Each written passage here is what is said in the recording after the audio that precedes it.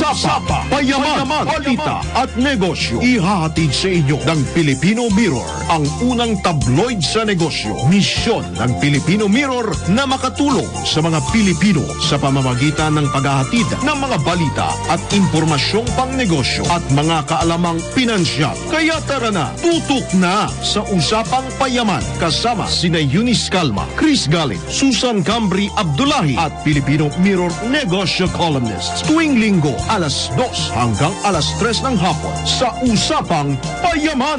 Live na live sa Facebook page at YouTube channel ng DWIC 882.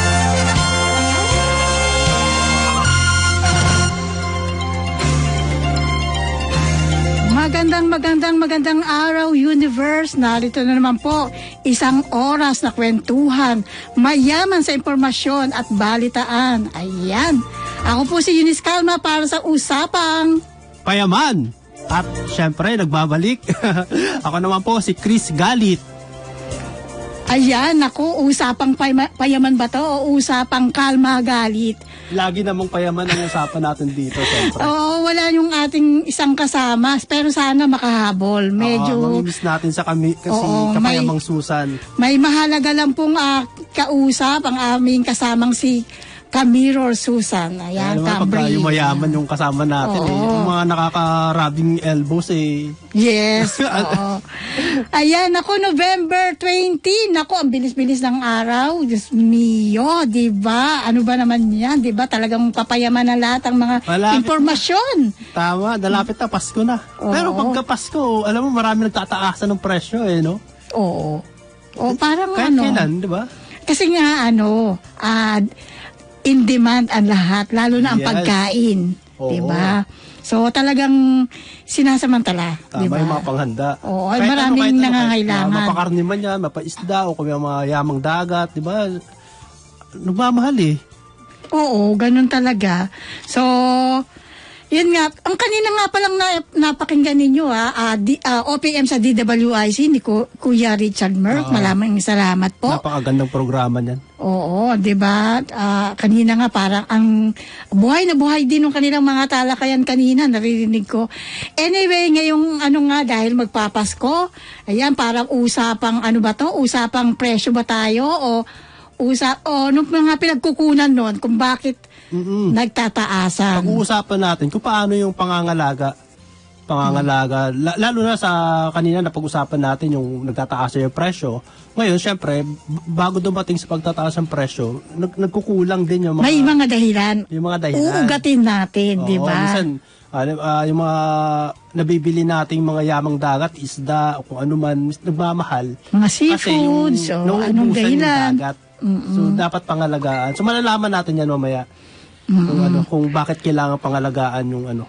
At exciting din ako dito makausap yung ano, yung magiging guest natin pamaya maya. Oo, naman. Kasi maraming this year parang naging nasa na, napunta sila sa spotlight. Ah, yes. ah, 'di ba? Napaka ano, eh, marami din silang ipapaliwanag sa atin tungkol sa mga ganyang bagay. Marami silang lilinawin sa mga viewers at ah, man, mga nakikinig dito sa Todong Lakas DWIC 882. Oo. Ayan, nako, mayaman na mayaman po na usapang yamang dagat. Pang ano, pangangalaga sa yamang dagat. Tama. Makakasama natin dito mamaya ang ah, taga ang ah, Chief Information Officer ng Bureau of Fisheries and Aquatic Resources before ah, si Mr. Nazario Briguera. Mamaya pagkatapos ng commercial break ah, natin siya makakausap. mm Ayan. Kumusta naman, Camilo Chris? So, Na- na-miss kita. ako. Kasi ay, ay, ay, ayokong umabsent, di ba? Tuwing linggo gusto kong kasama tayo, magkakasama tayo. Kaya alam mo yung mga pagkakataon talaga na kailangan nating Magpahinga. Pahinga muna.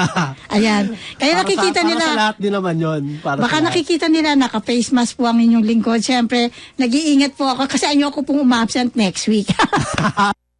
Kaya, so, alam niyo naman po, pag, pagdating ho ng mga ganitong panahon, ang dami-dami pong mga pinu, marami, ano tayo eh, suki tayo ng mga ano eh, ng mga, marami nag invite sa atin, di ba? Oo. So, ayoko naman na, ayoko magkataon ng araw na yon meron kang ini- iniinda sa katawan. Tama. So, nag-iingat po ako. Kaya, dun po sa mga nanonood, ayan, nakikita niyo po ang itsura ko ngayon. Naka, ano. pero wala po akong sakit.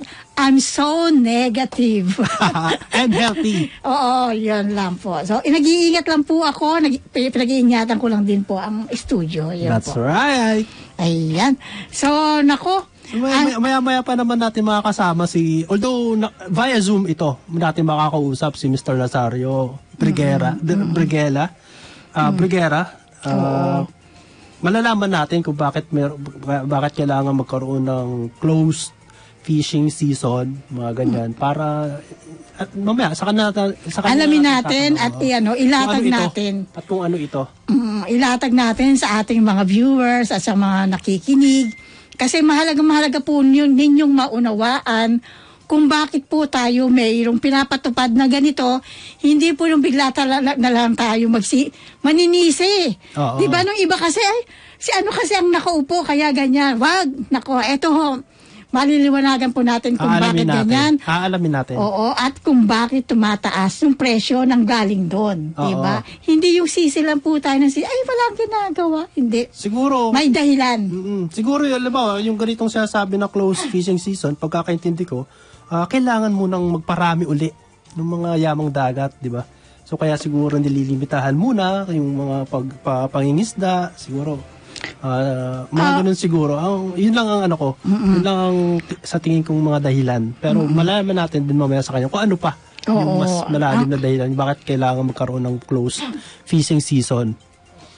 At ang close fishing season, nung tinatawag nga ng feast holiday, Mm-mm. talagang Yeah, taon-taon po namang nangyayari yan. Kaya wala po kayong, wala, ah, parang, sorry po dun sa iba na eh, ibang iniisip na, ay kasi parang walang ginagawa yung ano, hindi po, talagang taon-taon po talaga ay ah, mayroong feast holiday na tinata- tinatawag na mang- nangyayari po iyan tuwing Nobyembre hanggang Pebrero. Pero mamaya po, since wala po kami sa otoridad, ka- kami po ay ah, nababasa lang po namin dahil kami po ay nasa media industry, mas maliliwanagan po kayo sa aming guest mamaya kung bakit may feast holiday o close fishing season. Tama, tama. Ayan. At maraming malawak yung pag-uusapan natin ha. Basta Malawak yung ito. yamang dagat. Malawak ito. Basta mga yamang dagat. Yamang dagat. Bakit? Ako Bakit? excited ako kasi gusto ko talaga malaman. Mahilig din ako sa dagat eh. Lumaking dagat ako eh. Ah, Hmm. Kabataan ko, sumasama ako sa tatay kong mangisda. Mayroong mga ah, parang fish pond na malalaki sa ano. So, pinipili din nila yung mga dapat kunin na isda. Hindi hindi basta-basta kumukuha ng mga maliliit. Yes. Pag may nahuli, binabalik. Mm-mm. Mga ganun. Nakikita ko noon yun kasi sumasama ako doon sa bangka. Bangka pa yun eh, demotor. So, pag may nakukuha silang maliliit, binabalik nila sa dagat. Mga Oo, ganyan. So, yan, gusto sige. kong, na, me- medyo na, naaalala ko ng kaunti yung mga kabataan ko na sumasama ako sa tatay kong isda. Diba? So, i-expound natin yan. Anyway, mag, ah, maghahanap buhay po muna ang usapang payaman. Ah, Baka mapagalitan kami ng aming mga boss. Ayan, alas 2.15 na po. Magbabalik po kami. Huwag po kayong maglilipat ng talapitan dito sa Usapang Payaman! Usapa Payaman kasama sina Eunice Calma, Chris Galing, Susan Gambri Abdullahi at Filipino Mirror Negosyo Columnist.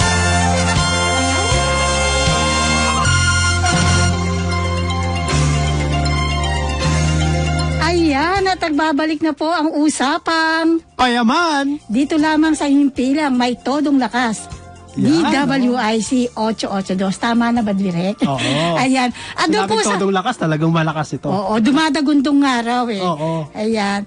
At doon po sa mga nahuli ng tune-in, ayan, pwede naman po ninyo kami balikan sa aming ah, social media platforms, DWIC YouTube channel. At ah, ang aming ah, Facebook page, DWIC of course. And, oh, and syempre sa Filipino Mirror na rin, pwede po kayong manood yan. Mapakikinggan din kami via website uh, www or www.dwic 882am.com at i-download ang DWIC app sa iOS. Yon, may mga cell- may mga iPhone ha. Oo. At kung Android naman po ang cellphone ninyo, DWIC 882 live din via DWIC 882 Facebook page, DWIC 882 at YouTube channel DWIC 882. Hotline 84701750254. Yan, kung meron po kayong mga violent reaction, pwede ko po kayo mag-text dyan. Sa ano text line natin, Camilo Chris, anong number natin, text line? Ah, 0999 376 6768. Ayan. Tayo po ay napanonood via test broadcast sa Digital Free TV na ICTV at sa Sky Cable Channel 72. O yun, talaga yumayaman ha. Oo naman. Meron tayong Sky Cable Channel 72 at TV Plus Channel 27. Available rin po kami sa digital TV devices at TV receivers. Mangyaring i-scan ang iyong t- digital TVs at channel box upang mapanood ang ICTV and of course ang usapang Payaman. at ang usapang payaman na handog ng Filipino Mirror, syempre. Ang unang tabloid sa negosyo. Ayan, ako, marami nang nag-ano, marami nang nanonood sa atin. Marami Teka nang muna. nag-aabang eh, oh, kung Oo. sino, sino nga ba itong guest ninyo? So, Bitinin muna natin sila sa ating guest, di ba? Oo, oo, oo. Banggitin muna natin yung mga nag-aabang ng mga ano, nag-hi na dito. O di ba? Yung ready mga na. Oo, ready na, pero o, ah, banggitin lang po namin yung mga ano kasi nung isang linggo po hindi po namin sila nabanggit si Tam Austria. Yan, nakikinig daw po sa atin yan lagi. si Master Tam. Mm-mm. Si Camilo Susan Cambry, get well soon sa ah, editor natin si Vicky Sarbales. Ayan. Yes, yes. Si Jody Guzman Barrios, good day po. Ayan. Si Julie Di Maano, nanonood Ayan. sa atin at nakikinig. At Sir si- Marvin Estigoy, on the way to uh, Fairview. Wow, hello po Sir Marvin. Ingat po sa biyahe. Opo, belated happy birthday. Ang sarap ng pagkain. Ayan. Si ano si Kuya Dante Maglaki, nako, Oo, oo. the ever supportive. Ayan. So ayan, marami pa po silang nakatunin. Paramihin pa po natin yung mga nanonood. Balikan natin sila mamaya. Oo, balikan Ah, natin. ready na So, ang ating guest, ah, taga ang Chief Information Officer ng Bureau of Aquatic Resources ah, before. Ah, nasa via Zoom po si Mr. Nazario Briguera. Sir? Ayan, nako. Welcome po sa aming show, Usapang Payaman, Mr. Brigera. Nako, Yes, marami- ah, yes ma'am, yes sir. Isa pong ah, payamang hapon ah, sa inyong ah, dalawa at sa lahat po ng sumusubaybay ng inyong programa. Natutuwa lang po ako sa combination ng inyong mga apelyido, no? Kayo po ang ah, dulang lahi na galit sa ah, fake news, ngunit kalma sa katotohanan. Wow, nako, nabigyan niyo kami ng ano. Napansin niyo pa yun, sir, ha? Actually, may kasama po kami. Ano, siya po yung talagang taga-awat po sa amin. Si Cambry, Susan Cambry. Siya po. Sir, Opo. sir, maraming salamat po sa pagkakataon na pina- pinaunlakan niyo yung programa ng ah, Filipino Mirror na Usapang Payaman. Ayan, naku.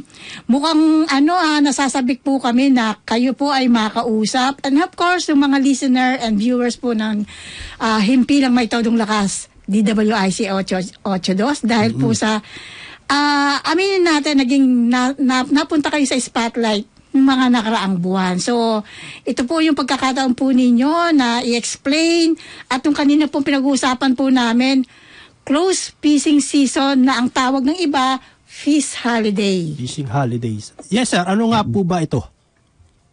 Mm-mm. Yung ah, close fishing season po ay isang ah, fisheries management. Ah, ito po'y bahagi ng ginagawa natin sa ating fisheries governance. Isa po itong strategy ah, para po sa pangasiwa ng ating pangisdaan kung saan pasamantala pong isinasara natin ang isang fishing ground. Ano po ah, para sa pangingisda o ah, panghuli ng isda at ah, gamit ang mga ilang ah, fishing methods ano ah, specific fishing methods. So isa po itong conservation measure para masiguro po natin na sa isang ah, bahagi ng taon may pagkakataon ang ating mga fish stocks na makapagparaming muli ano. Katulad na lamang po rito sa ating ah, close fishing season sa Palawan. Nagsimula po ito noong ah, November 1 at magtatapos po ito hanggang January 31 next year. So ito pong ginagawa natin ay ah, isang ah, ah, fisheries conservation measure para po masiguro natin yung supply ng galunggong ah, doon sa bahaging yon ng ating ah, bansa ay makapagparami kasi ito po yung tinatawag na spawning period o yung panahon na kung saan ah, nangingitlog, nagpapalaki, nagpaparami ang mga isda. So hindi natin muna sila iistorbohin para makapagparami po sila. So sa loob ng tatlong buwan, ah, ipinapatupad po natin ito. And then ah, later, makikita po, unti-unti na natin makikita ang ah, resulta ng ginagawa natin mga conservation measure. Dahil ah, pangkalaunan, ang tinitingnan po natin, ang layunan natin, ay yung sustainability ng ating ah, fisheries resources. So kailangan po may gawin tayo sa ating fisheries resource- resources. Hindi po ito ah, ah, ah, infinite resources ano? Eh, hindi ito resources na hindi maaaring maubos. Pwede po itong mauubos kapag wala po tayong ginawa.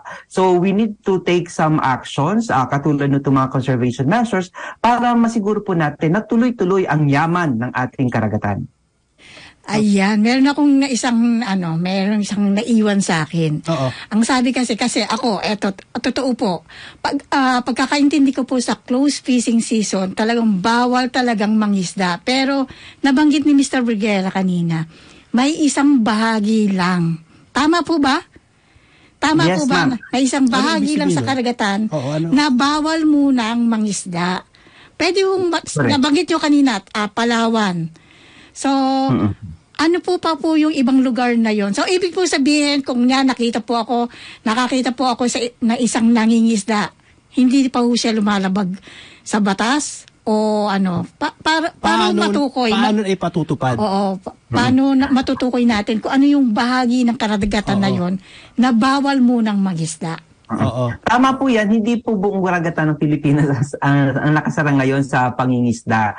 Ah, ito pong sa Palawan for galunggong lamang, ah, ano po, northeastern Palawan. Sarado Okay. po ito, ah, gusto lamang nating linawin ha, hindi po sa lahat, ah, bukas pa po yung ah, pangingisda para po sa municipal fisher folk, ay yung mga maliliit na mga isda. Sa northeastern Palawan, sarado lamang para po sa tinatawag natin na commercial fishing vessel operators. Ibig sabihin yung mga malalaki. Pero yung ah, 0 to 15 kilometers, yan po yung tinatawag natin na municipal ah, waters. Ah, tuloy-tuloy pa rin po ang pangingisda ng ating mga maliliit na mga isda. So, northeastern Palawan lamang po ang sarado for galunggong fishing and for commercial fishing vessel operators. Mm, okay. Ayan, kaya pala Lumilinaw. lumilinaw kasi isang news article dito sa DWIC na napa, nabasa ko last Wednesday o Thursday, Nakita ko rin yan. ang sabi, 35,000 na manggagawa ng mga sardines factories ang mawawalan ng hanap buhay pansamantala kasi nga ay dahil sa close fishing season. So, yun po yung sinasabi po ninyo na yung mga commercial na mga vessel, nung mal- malakihan ng pagkuha, sila po muna yung ano muna, bawal muna, ah, bakasyon muna. Yes. So, tama po ba? sila po muna ang hindi mangingisda. At iba pa rin po yung sa sardinas. Ano kasi nabanggit niyo po kasi yung sardinas, iba po yung sa galunggong. Ah, ibang- ibang yung sardi- ano oo, ibang Tamban. species po yun. Yung sa, oo, sa sardinas naman po, magsisimula yun sa December 1. Ah, sa ano naman po yun, sa Zamboanga Peninsula. Yan naman po yung close fishing season for sardines sa Zamboanga Peninsula. So, iba't iba po yung mga close fishing ah, season natin sa iba't ibang fishing ground. Ah, meron din po tayo sa Visayan Sea. Nagsimula po yan noong November ah, 15 at mag-run po yan ng tatlong buwan din. So, iba't ibang fishing grounds po, iba't ibang species. Ano po. Ah, but for Palawan and ah, Zamboanga Peninsula, katulad ng nabanggit ko po, sarado lamang sila for commercial fishing vessels sa mga malalaking bangka. Pero yung municipal fishing po, yung sa mga maliliit na mga isda, tuloy pa rin sila sa kanilang pangingisda. Ah, okay. Alam mo, ano, So, pe- ah, gusto ko lang din matanong muna si Sir Nazario kung ah, hindi naman ito maapektuhan yung mga ah, manufacturer ng canned ah, sardines. Ah, baka ah, meron na silang, oh, kumbaga napaghahandaan na naman na siguro nila ito bago pa man nagpapatupad ng mga close ah, fishing season. Magandang tanong yan, sir.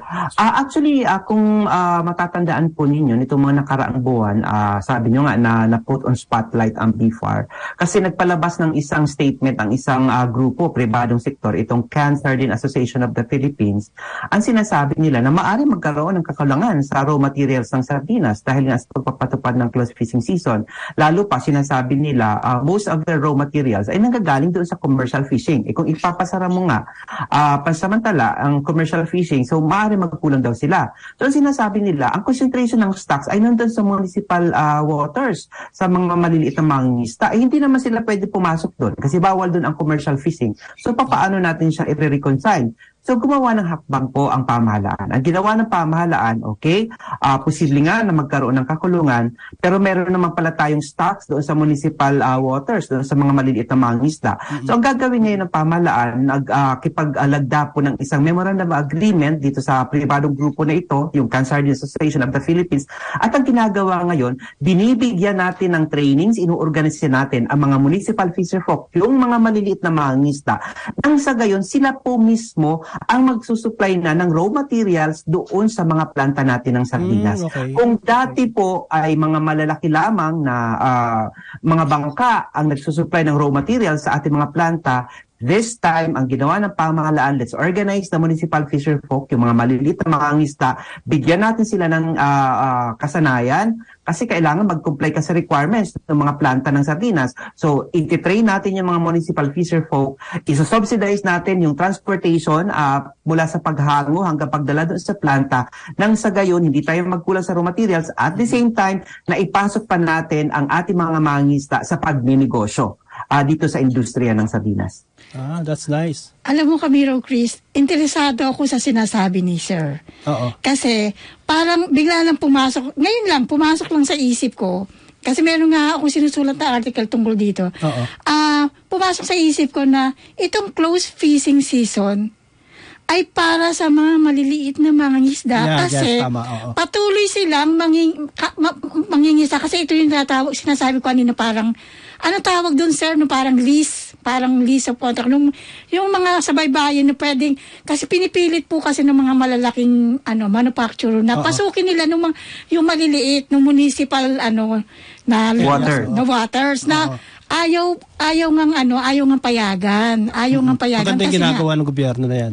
kawawa yung mga maliliit na mangingisda kasi kung kung maaagawan pa Oo. Ay, anong laban ng mali- maliliit na mga na, di ba? Maliliit din yung mga bangka nun sa, kumpara dun sa mga malalaking vessel nung malalaking kumpanya. Oo. So ako, bilang consumer, nabuhayin ako ng loob sa sinabi ni Sir. Oo. Dahil kasi para ang lumalabas sa balita, ay wala nang ma- maano, wala nang pwedeng mangisda, magmamahal ang isda. So, hindi natin nakikita Hindi- yung ano eh, no, oo. yung kabuuan ng pangyayari. Yes, Y- yun oo. pala, may mga ginagawang ganitong programa, yung ah, pamahal- pamahalaan na ah, mas makakabuti dito sa mga maliliit. Yet, may kinabang pare-pareho kasi mo, bibilhin ng mga lalaking kumpanya yung ah, nakukuha sa, ng mga maliliit na mga isda. Yes, at buhay na buhay ang ating mga maliliit na mga isda.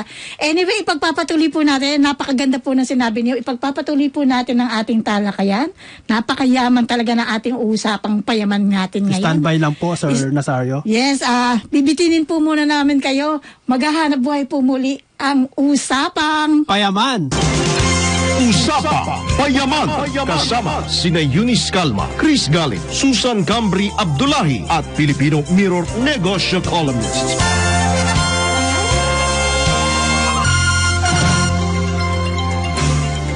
At eto na nga, nagbabalik ang usapang Payaman! ang bilis naman ng oras. Nakakadalawang ano na pala tayo at, at ngayon ay papasok na tayo sa ikatlong yugto ng Ah. ating programang usapang ah, pangangalaga sa da- Yamang dagat. Yamang At dagat. Kanina pa lang, na- nalaman na natin yung mga ilang ah, pangangalaga dito sa Yamang Dagat ah, sa pamamagitan kay ah, OIC Brigera. Ayan. At meron na tayong na, ano ah, dalawang puntos na yung nalaman natin. Oo. Ngayon Una- nalaman natin na ganun pala. Una, hindi po totoo na wala kayong makikitang mangingisda sa karagatan ng Pilipinas. Meron pa rin. Meron lang pong sinara, yun nga po, yung sa Palawan, ayan, nagsimula na po yan. Pa, ah, ah, ang maapektuhan nito ay ah, Galunggong. At ang susunod daw December 1 ay ang ano ang Sambuanga at ang maapektuhan naman niyan ay Tamban. Mm-mm. So ayan, na, dalawa po yung ano nung nung punto na nating na ating nalaman hindi yung mga kwentong barbero lang na ay bawal ang ano, bawal mangisda kasi may ano nag-holiday ang mga isda. Hindi, po pala ito totoo. pangkalahatan. Oo, isa pa yung narinig ko na pwedeng, ano, pwedeng magkomento si Sir mamaya. Oo. Kasi sabi ko, peace holiday, kasi daw taglamig, natatakot daw yung mga isdang lumabas. So, ang sagot niya kanina, kailangan lang palakihin yung mga maliliit na isda, paramihin muna. Oo. Tama. Ayan. So, So, ba- bago, bago natin balikan si ah, Mr. Nazario, ah, kilala mo naman ito. mm. Si Miss Mina Satori at si Andre. Kumusta? ah, Hi, nako, na-miss ko kayo. oo, nanonood sa atin, takikinig sila sa atin ngayon. Madami na, malapit na ang Pasko. Baka pwede akong mag, ano, magmano sa iyo. Binata na si Andre, nakikita mo ba sa Facebook? Oo nga, Nasmi, ano Ang ba yan? sipag-sipag pa.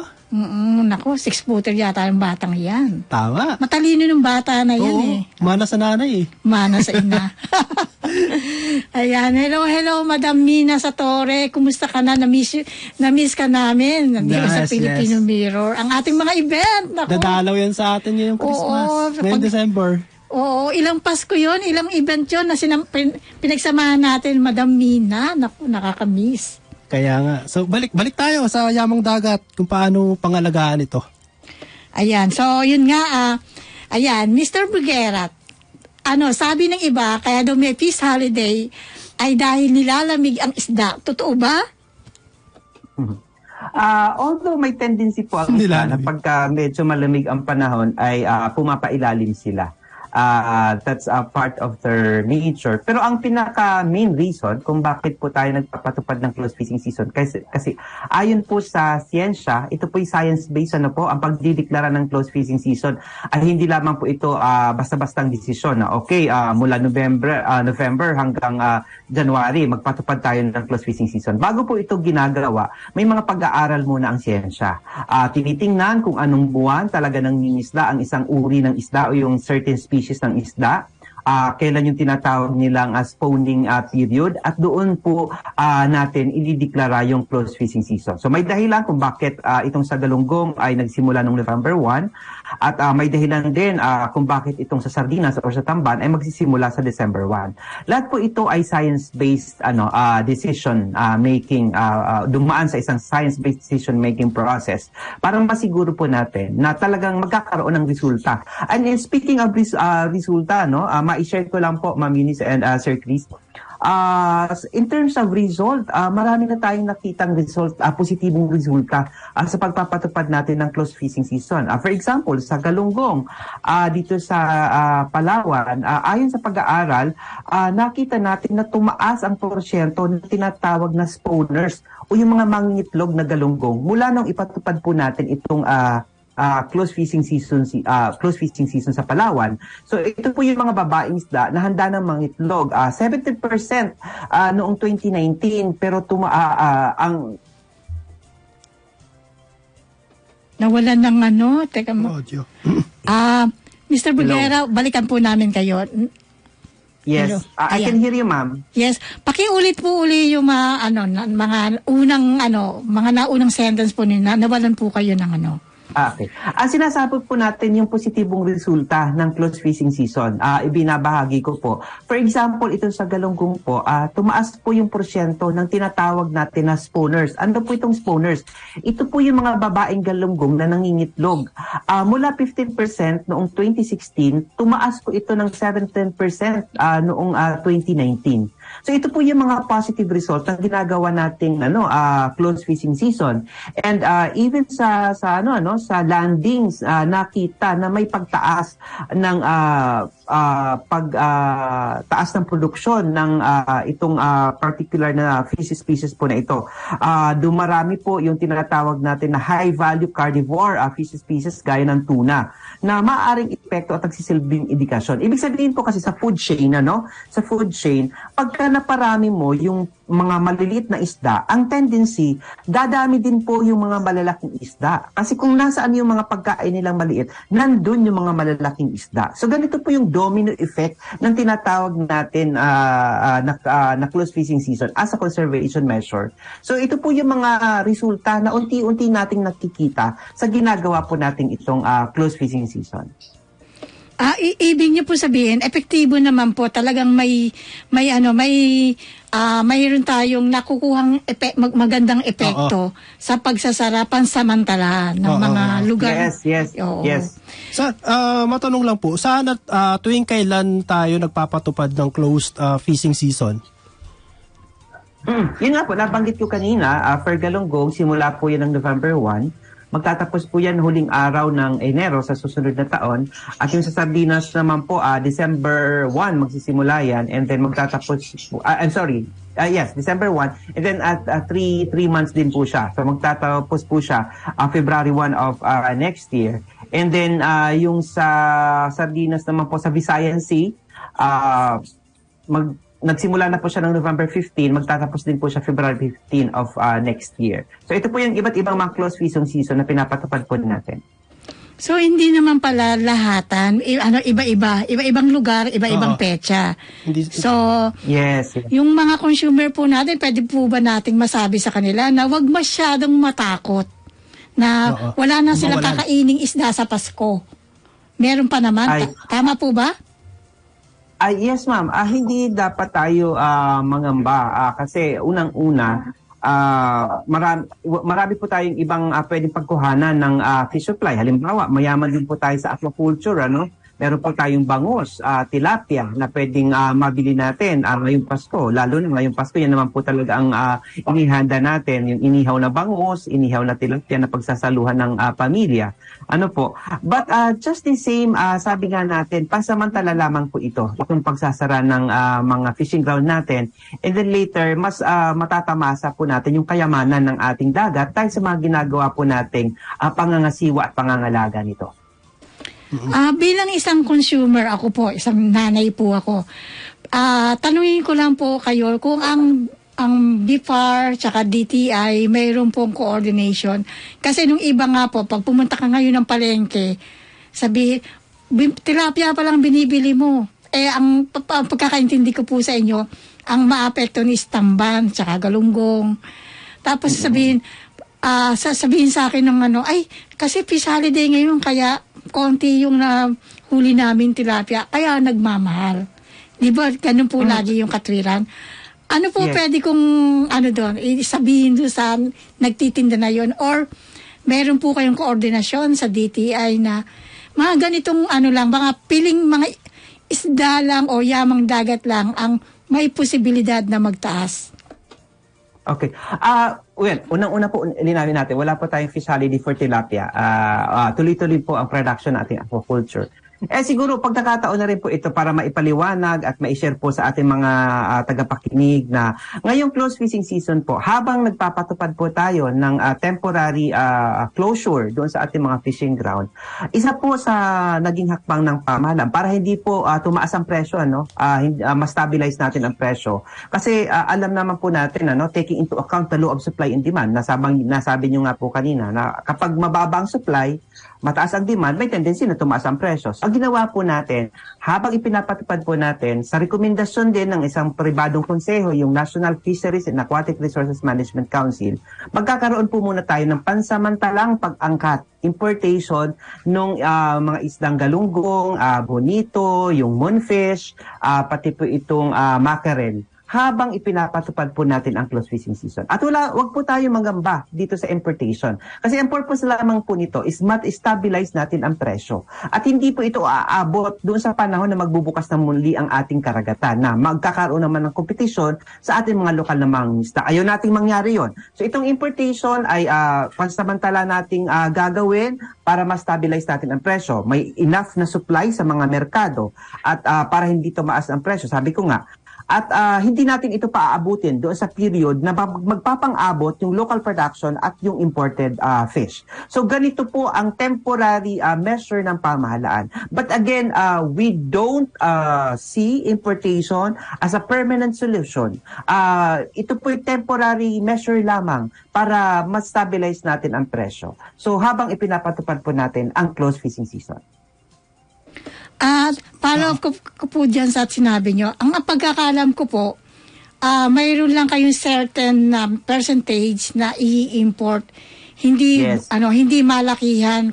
Kumbaga, pang ano lang, pang pang pampuno lang dun sa kakulangan na magiging resulta ng feast holiday. Tama po ba? Yes po, pansamantalang ah, kakulangan habang ipinapatapad pa natin ang uh, close fishing season. In fact, ang i-import lang po natin ay 25,000 metric tons. Maliit po ito kumpara sa mga naging importation sa mga nakaraan. Ano? Kasi ang computation natin, in fact, ah, double ah, that number. Ano? Ah, double that number. Ibig sabihin, ang computation na nakita ah, na magkakaroon ng supply gap sa isda ay nasa 50,000 metric tons. Pero hindi po natin i-import, ah, i- ah, aangkatin yung buong 50,000 metric tons. Kalahati lamang po niyan dahil ang sinabi natin, meron naman tayo mapagkukuha ng iba, katulad po ng sa aquaculture, yung bangus at tilapia. So kalahati lamang po. Maliit lamang po ito at ah, ito po ay ah, tatakbo ah, sa loob lamang ng tatlong buwan habang pinapatupad po natin ang close fishing season at kailangan dumating sila bago pa magbukas ang close fishing season para hindi po nakukompetensya ang ating mga mangingisdang Pilipino. Ayun. Sir, tanong ko na lang din kung ah, epektibo po ba yung pagpapatupad ng closed fishing season? Ah, yes sir, Ah, katulad po ng na, nabanggit ko kanina, may mga indikasyon na po akong ibinahagi sa inyo katulad ng sinabi ko na tumaas po yung porsyento ng spawners, yung mga mangingitlog na galunggong, ah, mula po sa 15% noong 2016, tumaas po ito sa 17% noong ah, 2019. At ah, nakita din po natin sa kabuang huli, tumaas naman po ng 44% noong nitong 2021 mula sa 15% noong 2015, yung production. ano At ang maganda po nito, Sir Chris, ano, yung sinasabi ko kanina, Ah, kapag pinapatupad natin yung close fishing season, for example sa galunggong, hindi lang galunggong ang napapa ah, siguro natin na gumaganda yung huli. Sabi ko nga, dahil ma- dumami yung galunggong kapag nagpapatupad tayo ng close fishing season, nakita sa pag-aaral na dumami rin sa lugar na yun yung tuna.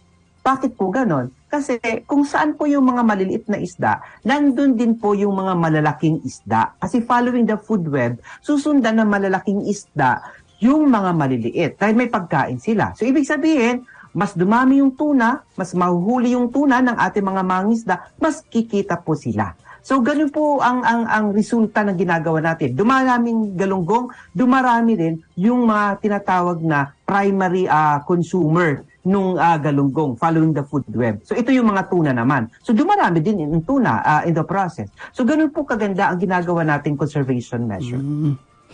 Ayan, nako. Talagang ano ha, ma- maliwanag na maliwanag ang Oo. sinasabi niya. At ito yung mga, ano mga sinabi ni Sir, iyon ang hindi na, ano, hindi nababasa. At Oo.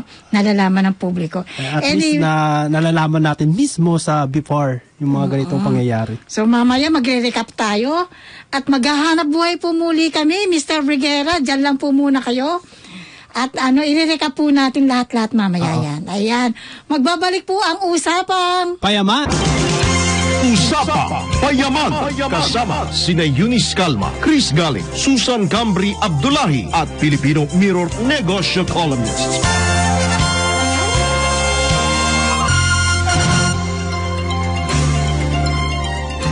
nagbabalik ang usapang Payaman!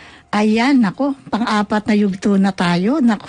Pero malino na malino na yung mga binanggit ni Mr. Brugera. ha. Oo. At ang ganda ng kanilang ginag. Maganda pala itong layunin ng ano, close fishing season. Oo.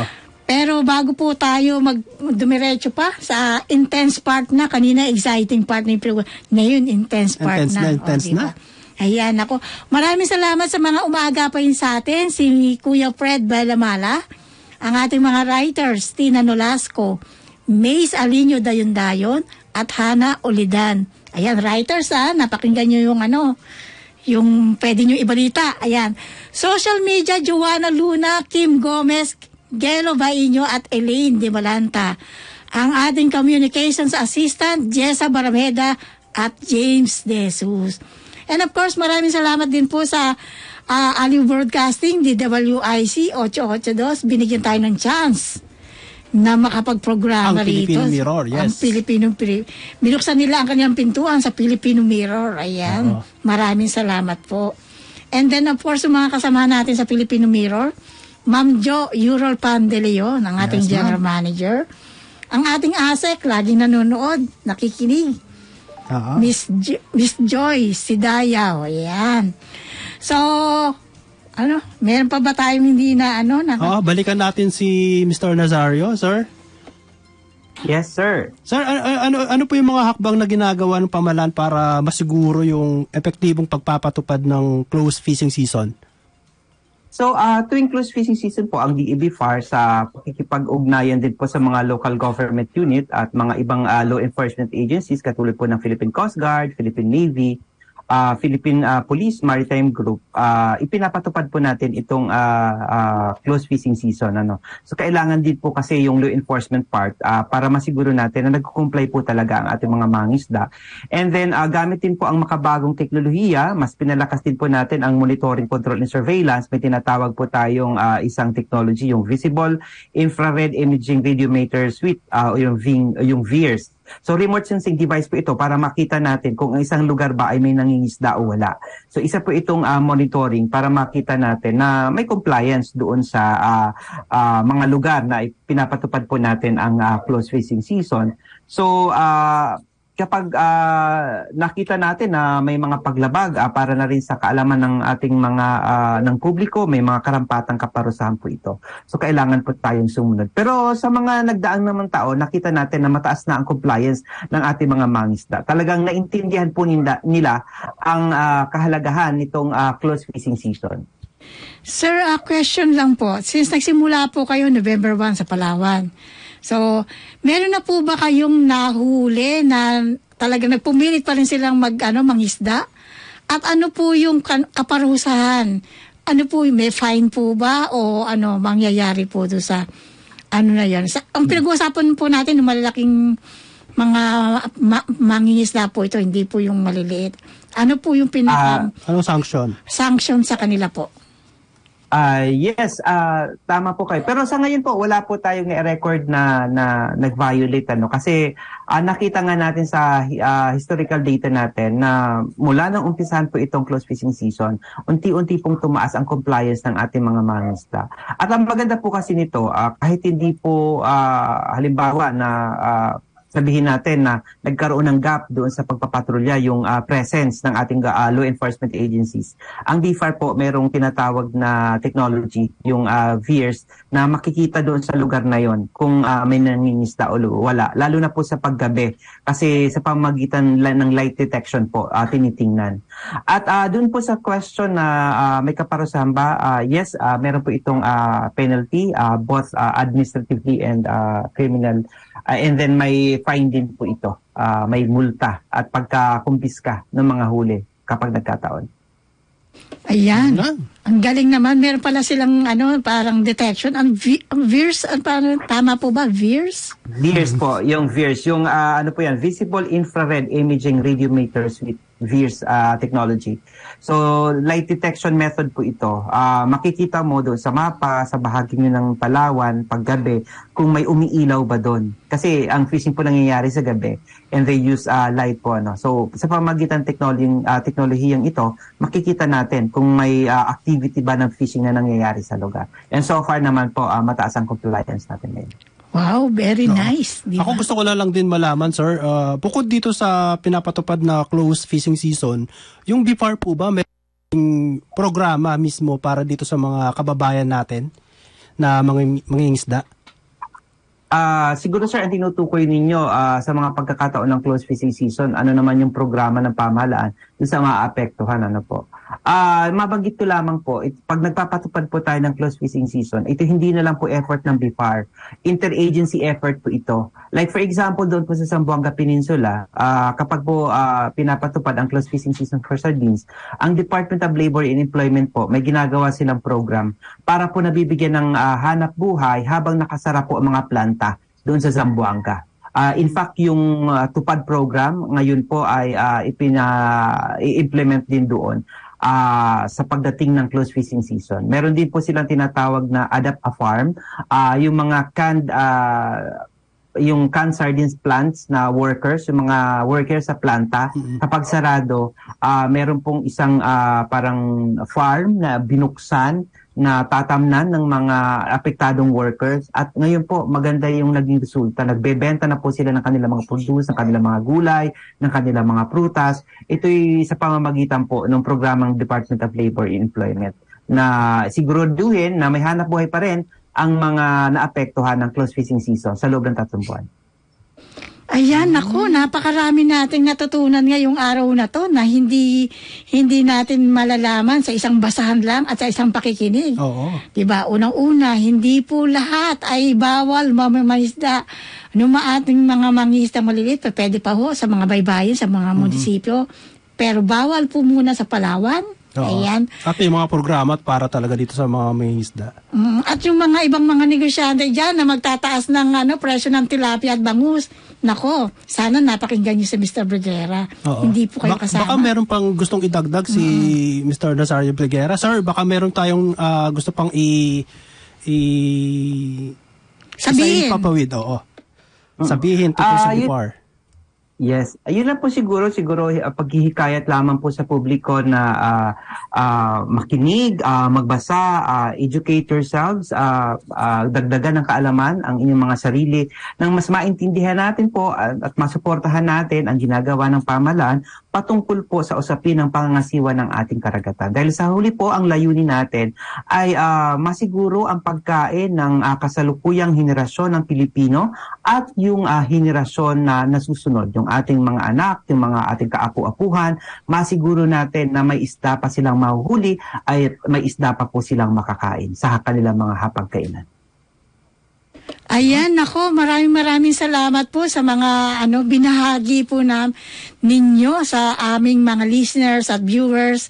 Ah, hindi na po namin kayo ano aabalahin pang maigi dahil ah, ano maraming maraming po salamat po sa impormasyon sa tungkol po sa fish holiday o close fishing season Pangangalaga sa yamang dagat. pangangalaga sa yamang dagat. Yan po. Maraming salamat. Sana po ay muli po namin kayong makapanayam dito sa Usapang Payaman, sir. So, nakasama po natin si Mr. Nazario Briguera, Chief uh, Information Officer ng Bureau of Fisheries and Aquatic Resources. Ayan, mar- maraming maraming salamat po and happy Sunday po, sir. Happy Sunday po. Maraming salamat. Patuloy po tayo magtatrabaho para guminhawa at yumaman ang mga mangisdang Pilipino. Thank you, sir. Thank you, sir. Ayan, ang ating pong napakinggan, ha, nako, ano, i-recap ko lang, yun nga, ah, hindi lahat ng buong karagatan ng Pilipinas ay bawal magano mag mangisda. Yung ating mga maliliit, yung sa mga mun- by, by municipal, pwede pa. Oo. At ang tilapia ah, bangus ay pwede pa namang bilhin sa merkado. Usually kasi yung tilapia at saka bangus, ang pagkakaalam ko, madalas na sa tabang. Ano lang yan eh, para sa, Na- sa na- mga palaisdaan. Palasdaan. Oo, mga So, ano. Itong mga galunggong naman, ito yung mga sa mga dagat Oo, talaga na. yan talaga yung sa malalalim. Pinagbabawal kasi kailangan mo nang paramihin mo na uli, di ba? Oo. At pwede rin naman kayong bumili ng mga hipo, di ba? Ang Marami pinag- naman dalagang Oo. bukid. Ang pinag-uusapan lang po natin dito, yung mga ano, yung galunggong tsaka tamban, Oo. kasi sila po yung dapat munang paramihin. Oo.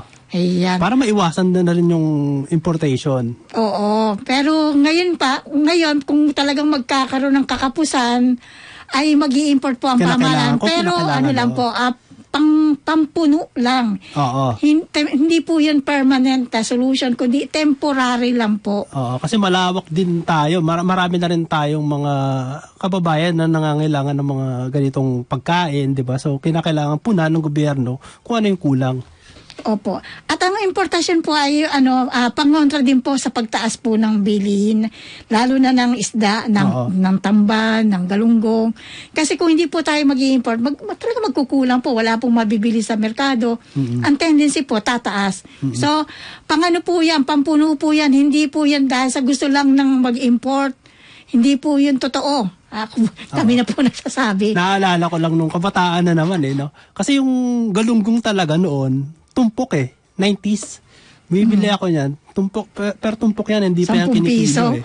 Oo, 10 piso, 20. May 20 pa nga, Oo, di ba? Kailangan paksiwin yan o kaya prituhin. Yan yung mga usual na ulam namin eh. Oo. Galunggong. Sa talipa pa, Oo, yun, di ba? Pag ano wala siya, ka. pinakamura. Ngayon, ngayon, sa ganitong panahon, isa na siya sa kasama sa mga medyo nagmamahal na na isda na karaniwan na nating binibili. Although na, talaga namang masarap.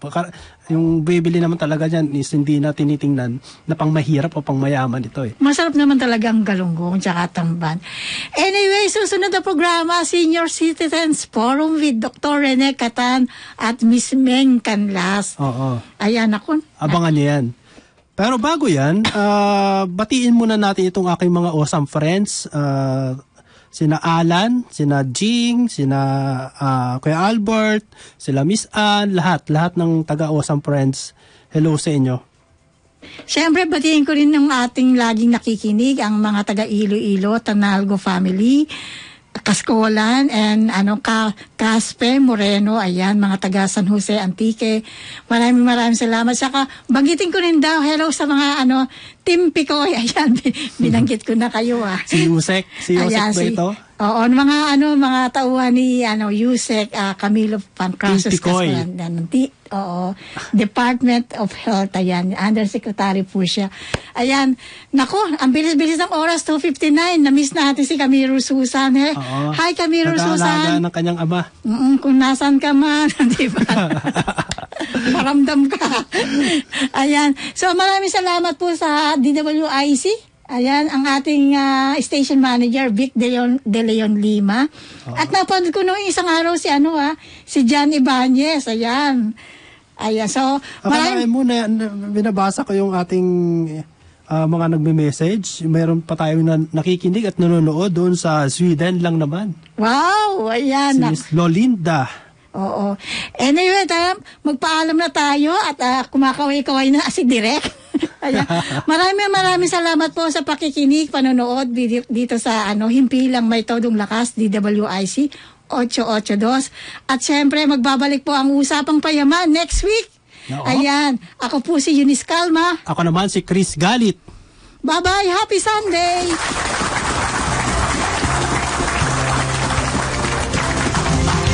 Usapa Payaman.